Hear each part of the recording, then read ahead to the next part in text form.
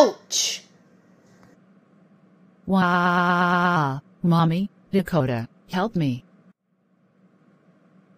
Claire Bear, why are you crying?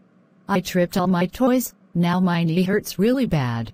Poor girl, don't worry, come with me, I will make your knee feel better. Okay, I trust you Dakota. Now where is that goth dang ice pack? I swear this son of a gun has to be in here somewhere. Found it. Now Clara, I need you to put this ice pack on your knee and keep it there. Thanks Dakota, my knee is feeling better now. You're welcome Clara, but please remember to clean up your room before running around in it. Dakota, did I just hear in the kitchen that you gave Clara an ice pack?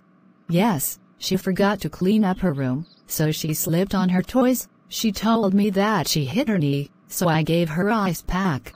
Dakota, you are such a nice big sister. Thank you for giving Clara an ice pack. This is, by far, the best thing you ever done. As a reward, you are well done nicely and grounded forever and ever and ever and ever and ever. You can do whatever you want.